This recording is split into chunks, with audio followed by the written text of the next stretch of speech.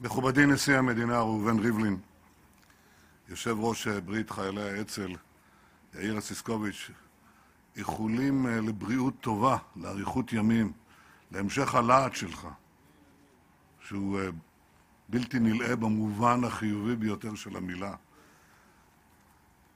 ליושב ראש ברית חיילי הלח"י, יאיר שטרן, בנו של אברהם שטרן, יאיר, נמצא כאן בנו של אבא אחימאיר, שלום לך יוסי אחימאיר, יש כאן כל כך הרבה ידידים ותיקים, שותפים לדרך, לרבות נכדו של רב האסירים, הרב אריה לוין, ואנשי האצ"ל, חברי תנועת בית"ר, בני הנוער. בחודש שעבר קיימנו טקס מרגש במוזיאון האצ"ל לציון 70 שנה לשחרור יפו. חלקנו כבוד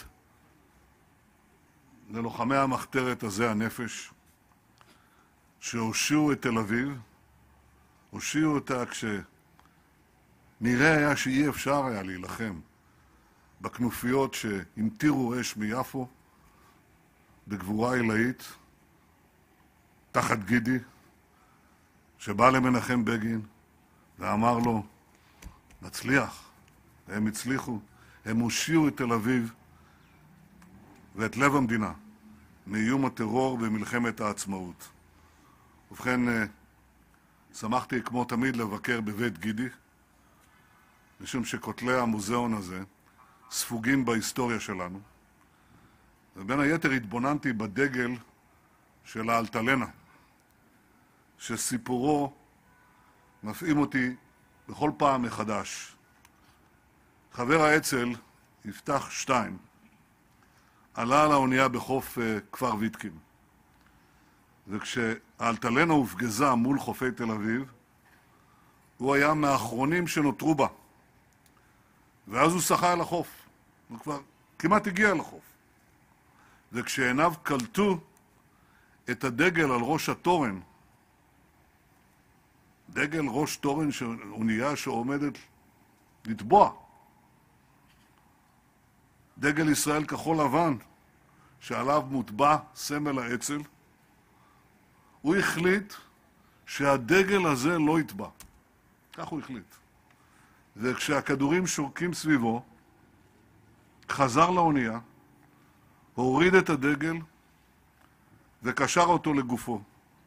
אחרי כן שחה שנית אל החוף, נפתח ניצל, כך גם הדגל. ובכן, בסיפור הזה, בדגל הזה,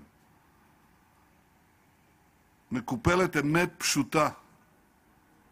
אנשי ספינת הישע, אלה שבאו מחו"ל, אלה שעלו על סיפונה פה, הם היו אוהבי העם והמדינה. לא רק שהם לא היו בוגדים, הם היו פטריוטים מן המעלה הראשונה, נאמנים אל החזון הציוני ללא גבול. והגיע הזמן להשריש את האמת הזאת בתודעת הדורות. אני מתכוון לומר את זה גם בממשלה, מזכיר הממשלה דאג לה, שייכנס לפרוטוקול הממשלתי. מסירות הנפש של אנשי אלטלנה, מסירות הנפש שלהם למולדת, עמדה במבחן האש. אלא שבמקרה הזה, כפי שאמר הנשיא, זה לא היה מבחן באש האויב, היה מבחן באש אחים, אש נמהרת, אש מיותרת, אש קטלנית, אש מפלגת. אני מכיר את סיפורם האישי של רבים מבאי אלטלנה. הם כל כך ציפו להגיע לחוף מבטחים. הם פשוט רצו לתת מעצמם, וגם נתנו, לביסוס הקוממיות. חלקם עסקו ימים ושבועות בהטמנת כמויות עצומות של תחמושת בבטן הספינה. כי הם ידעו שמדובר בנשק הצלה חיוני לישראל הצעירה. נשק שיכול היה לשנות את פני המערכה בחזיתות השונות.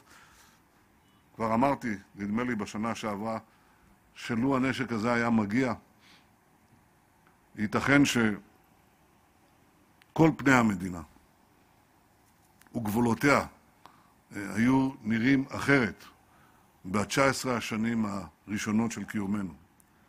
ובכן, החובה הכפולה הזאת לקבץ ברזל ולחזק את קיר הברזל שמגן על ביטחוננו, החובה הכפולה הזאת עומדת בכל העת לנגד עיניי.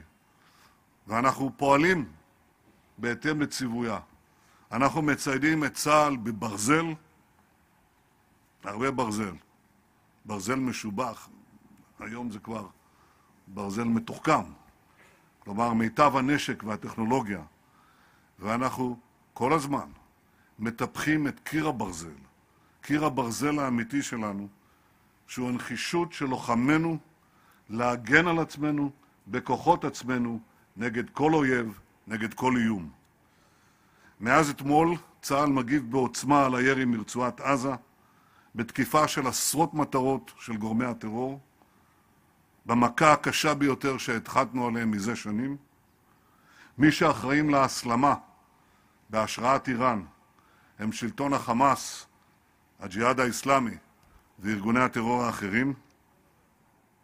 אינני מפרט את תוכניותינו, משום שאינני רוצה שהאויב ידע מה צפוי לו. אבל דבר אחד ברור לו, כשהם מנסים אותנו, הם משלמים מיד. ואם ימשיכו לש... לנסות אותנו, הם ישלמו עוד הרבה יותר. אני מחזק את ידיהם של לוחמי צה"ל ושל כל כוחות הביטחון, ואני משבח את חוסנם של תושבי הדרום. ידידיי, חלק מהנשק שהביאה איתה אלטלנה שקע במצולות ים, בים שהאדים מדם החללים. לפני מספר שבועות, כשמלאו 70 שנה למדינת ישראל, הנחיתי את מזכיר הממשלה לפעול שוב, במאמץ מוגבר, לאיתור שרידי הספינה. היא נמצאת פה. אם היא נמצאת פה, אנחנו נמצא אותה. והעבודות החלו. אם הן אה, יצליחו, בכוונתי להעביר את השרידים לאנדרטת הזיכרון שתוקם בבית גידי על גבול תל אביב-יפו.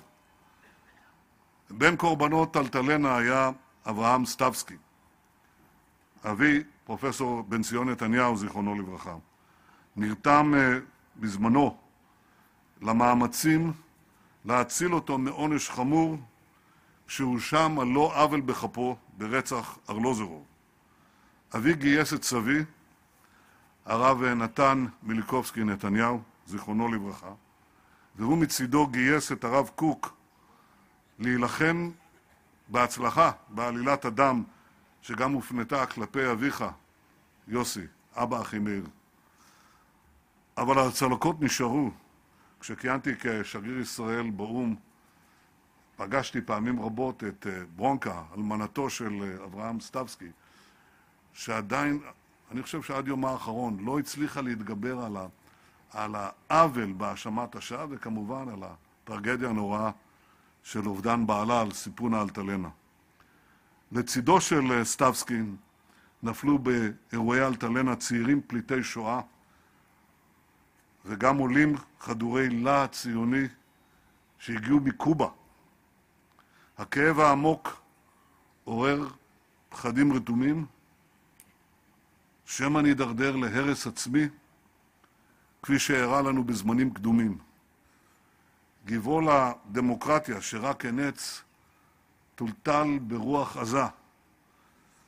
גולי האצ"ל והלח"י באפריקה סיפרו על המועקה, המועקה הנוראה שפקדה אותם כששמעו בשידורי הרדיו שאלטלנה נורתה בתותח יהודי. ברגע מר זה התבטלה, לנו נכון, ברגע גורלי זה, נראתה בכל אה, עוצמתה גדולתו של אה, מנחם בגין כמנהיג. הגדולה הזאת התבטאה בתבונת האיפוק וחוכמת הריסון שהפגין, ואלה מנעו אסון כבד פי כמה. המילים שלו חרוטות כאן, על אנדרטת הספינה שהקמנו, מלחמת אחים לעולם לא. מלחמת אחים, לעולם לא. בגין הבין שהתגוששות פנימית אלימה תפורר אותנו. והאויב החיצוני עמד בשער, אגב, גם היום הוא עומד בשער. אויבים לא חסרים לנו. הם משנים את פניהם מדור לדור, אבל אנחנו פה. כי חרטנו על ליבנו את לקח האלטלנה. עוצמתנו מתחילה באחדות הפנימית, בערבות ההדדית, בכבוד לאחר, גם אם דעתו שונה. כשם שמצפים זאת מאיתנו, אנחנו מצפים זאת מאחרים. בד בבד אנחנו מטפחים את עוצמתנו בכל התחומים. לא רק שאנחנו מתעצמים בנשק, אנחנו מתעצמים בכלכלה, מתעצמים ביחסי החוץ, מתעצמים ברוח. במלאת 70 לעצמאותנו, ישראל היא כוח עולמי עולה. בהרבה מאוד תחומים, מנהיגי העולם מעוניינים לשמוע את עמדתנו. בשבוע הבא אצא לגרמניה, לצרפת, לבריטניה, אפגש שם עם הקנצלרית מרקל, עם הנשיא מקרו ועם ראש הממשלה תרזה מיי.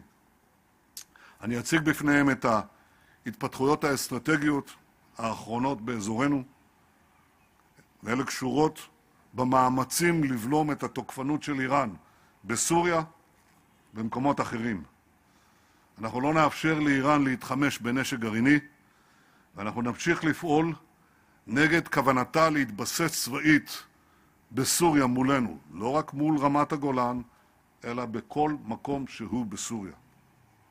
70 שנה אחרי אלטלנה, הדגל שניצל מתנוסס בגאון. משאת נפשם של אנשי אלטלנה הייתה מדינה יהודית חזקה ופורחת. הם נטלו על כתפיהם את עול השירות לטובת הכלל, במחתרת, בשורות צה"ל, בבניין המדינה. הם הגשימו את התקווה, את התקווה, חלק מהם יושבים כאן, וגם בניהם ונכדיהם, כמו האלוף יוחנן לוקר, אני יכול להגיד איש אלטלנה,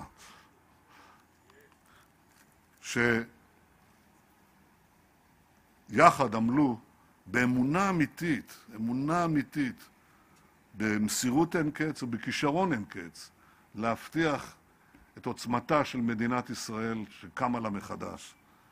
מפקד אלטלנה היה ידיד המשפחה, אליהו לנקין, הוא גם היה ידיד אישי שלי. והוא נהג לומר, נסתכל בכאב אחורה, אך נביט בגאווה בעתיד.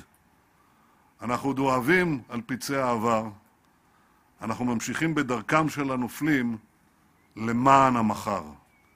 יהי זכרם של חללי אלטלנה נצור בלבנו ובלב עם ישראל לעד.